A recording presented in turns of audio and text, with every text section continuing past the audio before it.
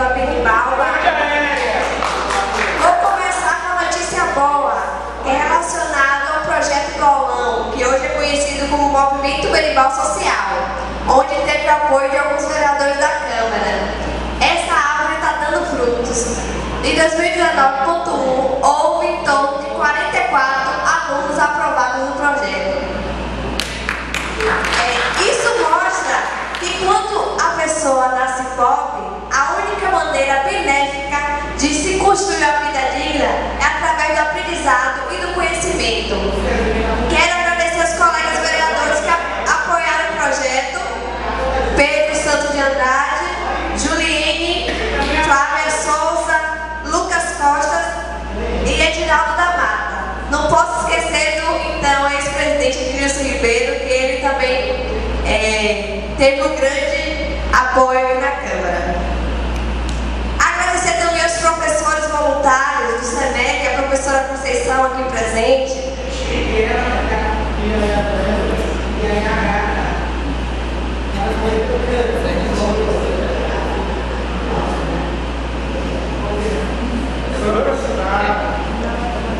O professor André, de Biologia do SEMEC, Adriana Reis, de Português, também do SEMEC, Jax- Jackson, Redação, Danilo, Física, professor do SEMEC, João que hoje não pode estar presente, professor de Física, também deu grande apoio nesse projeto, Alisson, de História, do Atenas, Lúcio, de Matemática, professor do SEMEC, e Carla Verena, de Sociologia, do SEMEC também.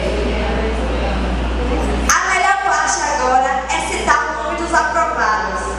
Espera um pouquinho, é, gente. Eu procurei, são tantos aprovados, né? A lista é grande.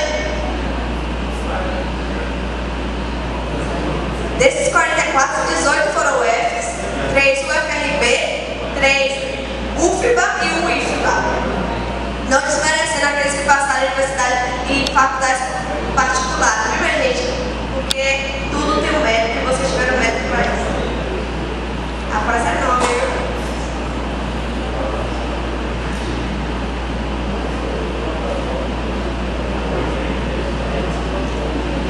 Vamos lá com a lista. Rafael passou na UF Geografia. Cauana, UF também Geografia. Tiago, UF Juliel, UF Engenharia de Alimentos. Rodrigo, Direito na UF. Isadora, também Direito na UF. Norberto, Economia UF. Alisson, UFRB. Linguagem e Cultura. Cleison, UFRB, Mecatrônica.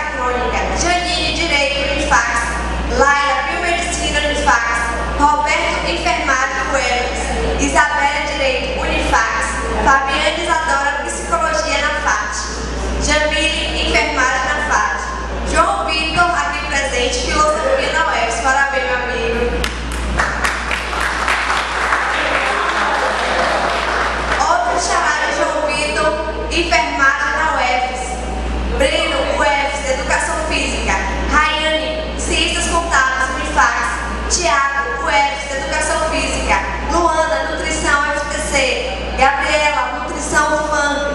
Emily, Direito, FAT. Patrícia, UNEF, Enfermagem. Bruno Duarte, o concursado da PM Bahia, um dos representantes da PM aqui de Gribal também. Luiz Henrique, concursado também da PM Minas Gerais, aqui de Gribal também, os méritos a eles. Matheus, UFRB, Música. Karine, UFS, Química. Bruna, UFS, Enfermagem. Esses são os aprovados nos vestibulares de universidades públicas e particulares do nosso projeto do do Enem. Sobre a questão do transporte, nós estamos, a- estamos abertos a diálogo, tanto ao secretário de Educação, tanto ao chefe de transporte, porque, consequentemente, houve aumento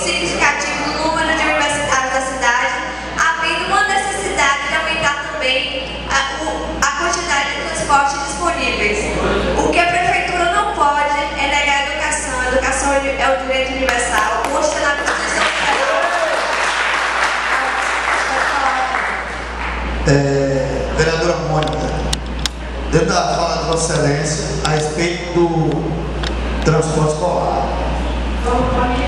O município de Construção de Apipe já recebeu o ônibus que a seguradora pagou, o ônibus amarelo pelo fogo, né?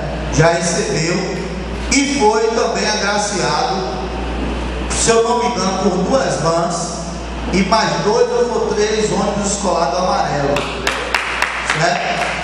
Com isso, aqueles dois ônibus alugados que fazem o, trans, que fazem o transporte, sem ser o Américas, os outros dois, né? Que fazem o transporte, continuam alugados e podem muito bem servir, servir bem os estudantes universitários, se é que não já estão servindo. Né? Os estudantes universitários de Feira de Santana. Então assim, eu acredito que com uma ótima organização dá para servir. Né? Muito obrigado. Muito bem, vereador.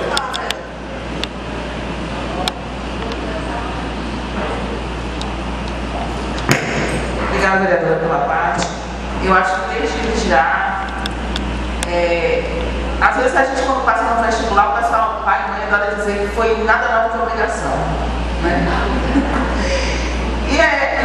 Necessariamente é uma obrigação, mas acho que vocês são reflexo de, de vencedores de uma batalha, dessa longa guerra que é travada no nosso cotidiano, nesse dia a dia, repleto de drogadição, repleto de violência. As meninas são guerreiras sim, vencedoras sim. Quando eu vejo, às vezes, um adolescente entrar múltiplos ferimentos por arma branca, arma de fogo no colégio, vítima dessa realidade dura que a gente vive aí hoje, só dá tristeza e lamentação. Por isso eu digo a vocês, direciona a palavra a vocês e aos pais de vocês que estão aqui, eu vi Cida, sua mãe, aí veio parabenizar, eu vi você criança e você vi a luta de sua mãe para educar você. Você é um exemplo de, de todos, não é? Que estão aí, desses 40 meninos então são guerreiros, meninos verdadeiros. Eu acho que tem muito a crescer e acrescentar. O transporte, eu tenho certeza que vai ser mais um dos detalhes. Porque vai conseguir. Porque a população, a faixa etária do município de São Jacuípe, a, a pirâmide, ela está invertendo. Hoje a gente tem mais pessoas mais velhas do que novas. E, então a gente tem que lutar, já que o transporte universitário, você sabe eu, que não o Fundeb, que paga o transporte, contempla o ensino fundamental. Não é? Mas a gente precisa entender que hoje a gente tem muito, às vezes, proporção, muito mais pessoas na faixa etária de 18 a 22 anos de idade do que necessariamente do que meninos nascendo. Não é? Então eu acho que isso é uma batalha, uma batalha nossa. Eu estou aqui, quero conversar com a gente vai continuar fazendo parte desse projeto, um projeto que eu acho que os três vereadores, porque assim, eu vou ser muito honesto. Quantas vezes vem gente pedir uma ajuda, um dinheiro a gente? Aí tem hora que você ainda chega e fica assim, meu Deus, é, é, é dinheiro para tudo. Mas para projetos como esse, eu acho que faz parte da nossa dedicação, tirar um pouquinho para poder ajudar nesse projeto tão importante para o nosso município. Meus parabéns aos professores, não é? Eu sei da guerra que é, deve, não deve ser fácil estar se dispondo aqui, às vezes final de semana está aqui. Meus parabéns e parabéns pela iniciativa, vereador. Tem meu total apoio, tenho certeza de nós três. Obrigada. Obrigada. Passando só para lembrar que as inscrições do programa do Enem 2019.1 estão, a, a pré-inscrição está aberta no site do Vereu News. E a inscrição acontecerá aqui na Câmara com entrega de um quilo de alimentos. Então, todos que quiserem participar, estão abertas, principalmente jovens. Falando da questão dos fardamentos dos guardas municipais, que foi exposto nas redes sociais do município, parabéns. É, mas melhor do que fardamento para a guarda municipal é capacitação e treinamento, para que eles possam auxiliar a polícia militar